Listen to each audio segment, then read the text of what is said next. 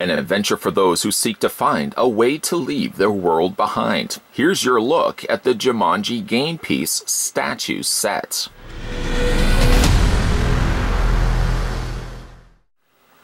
This game piece set is a ThinkGeek and GameStop exclusive and contains the four tokens the rhinoceros, the elephant, the crocodile, and the monkey.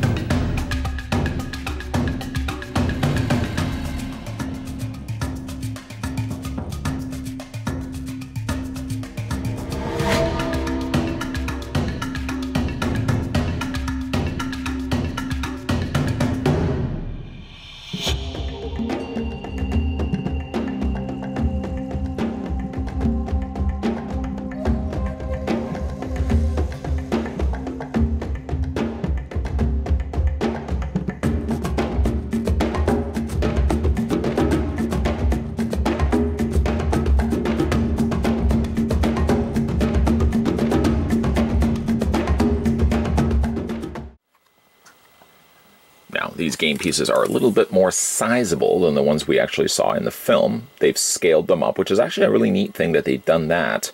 How tall are each of the token pieces? Well, on average, they're about the same height, give or take. So I'm going to measure off the crocodile, and then that will be pretty much the same height for all of them. They stand at around 4.3 inches, which translates to be, uh, let me go ahead and do that right now, 10.9 centimeters tall, each of them. Each of them are also made out of a solid poly resin with felt feet. Each one of them, as you can see down below, has trademark 2018 CP11ARR, whatever that may be. Uh, the felt feet certainly come in aid because if you have something so heavy as this, you don't want to be putting on any surfaces and ultimately scratching it. But the felt feet do a good job. Got just a little bit of, uh, I guess, excess residue from it being inside the styrofoam encasement. Uh, but we'll have a look at each one of these. These are fantastic. I absolutely love these. Um, I guess you know what? I'm seeing as, as I started with the crocodile, I'm gonna work my way this way and I'm going to start with one of my personal favorites. I think my personal favorites are the crocodile and the rhinoceros. This is the ivory colored rhinoceros, which again, very faithfully recreated from the film, just a little bit bigger. These are also officially licensed Jumanji merchandise from Sony Pictures Entertainment, and they're exclusive to ThinkGeek. If you guys are interested in picking these ones up for yourself, but we'll talk a little bit about that in a second. First things first, like I said, we'll have a look at the the very nice ivory colored rhinoceros, one of my personal favorites from the film. It does have the little chipping and cracking and stuff that's happening on the top. Um, very nicely colored. Simplistic, I guess would be the best word to describe all of these. Um, the rhino also has one of the more more layers of color, say by contrast to the crocodile. That's why I wanted to start with this one first. Very, very heavy are all of these. These are certainly something that you don't want dropping at the very least. Uh, you know, they, they could be very solid uh, collectibles. You certainly don't want this falling on your head either. But the rhinoceros looks great, looks just like it did from the film. It's made up of several different colors. Primarily, it looks like it's got kind of a a lighter, well, ivory color.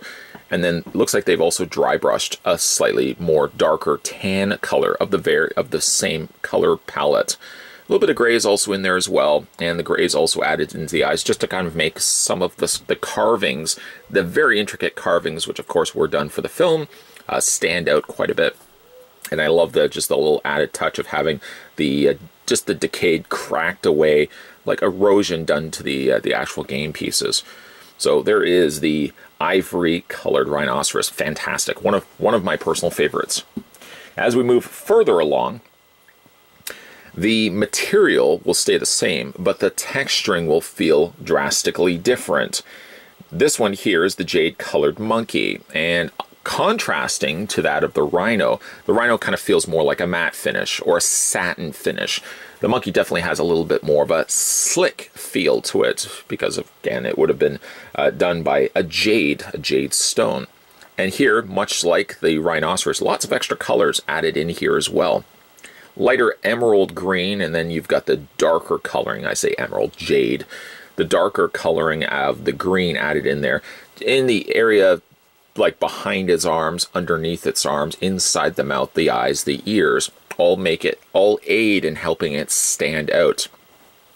Uh, to also note as well, just the slick nature of this one. This one feels a little more slippery, so you just want to be a little bit more mindful picking this one up and holding it. Once again, you've got the felt feet on the underside. It still feels a little rough, like coarse. I'm wondering if it's just a little bit of extra glue or something that they put on the bottom there. Nonetheless, though, a really nice looking replica. And that was the Jade Monkey. Moving further along, by the way, let me know down below which of the Jumanji tokens you guys like the most. I think up to this point as well, we've already gotten, of course, the new uh, Jumanji film, and I think they're also planning a sequel to that as well. I didn't really like the second Jumanji as much as I really. The first Jumanji is still a classic. I don't know how many times I used to watch that when it was on TV. As we move further out from this gentleman's memories, let's talk about the metallic elephant.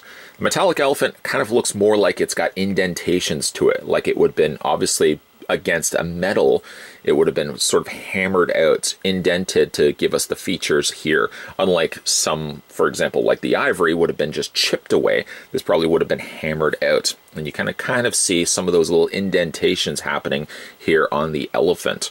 Very heavy once again. The material hasn't changed. It's all the same poly resin. Uh, but again, just by paint and the texturing on it, you really actually feel like each one of these are made from a different material. The elephant looks good.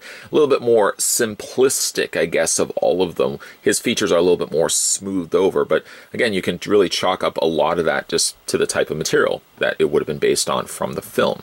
Elephant, again, looks really good. It stands out certainly among all the other ones. I guess the monkey, for me, is the one that stands out the most, just because it's got a lot of the popping colors of the dark and the lighter green, but really like the metallic nature of the elephant certainly makes it stand out as well.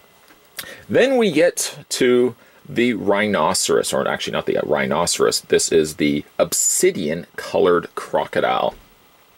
And I guess I wanted to leave this one for the last because it does have a neat looking sculpt to it, but doesn't really have a whole lot of paint to it. In fact, it has no paint other than the paint that was done to the main, the main body. When I look at this one, and I even looked at when I saw this in the film, this particular one, the crocodile, always reminded me of something Egyptian.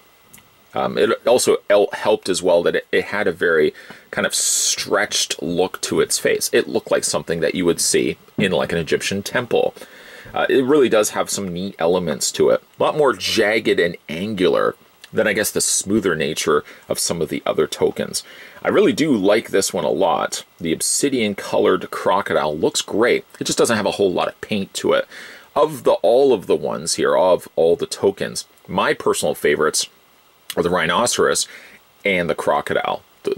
So much so that I started the review with the rhinoceros and ultimately ended with the crocodile. Crocodile is one of my personal favorites as well.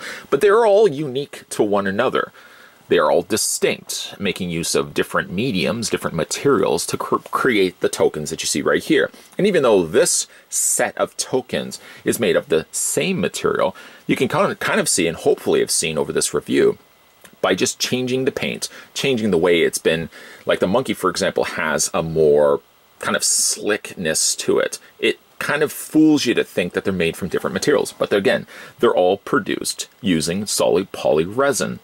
They're a little bit bigger, like I said, from the movie, which is, I guess, the best way that it could have done. If they had kept them smaller, I think they don't show as well on a shelf. So I'm glad that for these ones, they scaled them up a lot bigger, as you saw in this review here. I mentioned a couple of times that these pieces feel heavy. They're about a pound each, if you could believe it. Each one of them are a pound.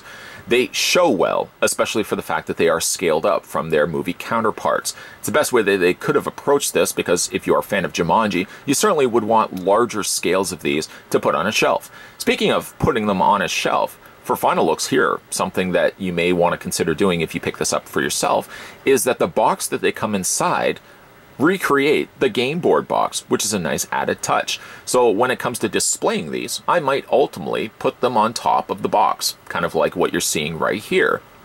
If you guys are interested in picking this one up for yourself, fans of Jumanji will probably want to grab these.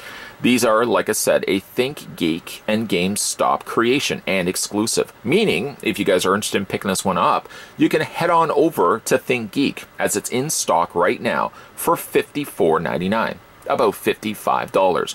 Check out some of the other cool collectibles and replicas that ThinkGeek sell as well. They have a full extensive library.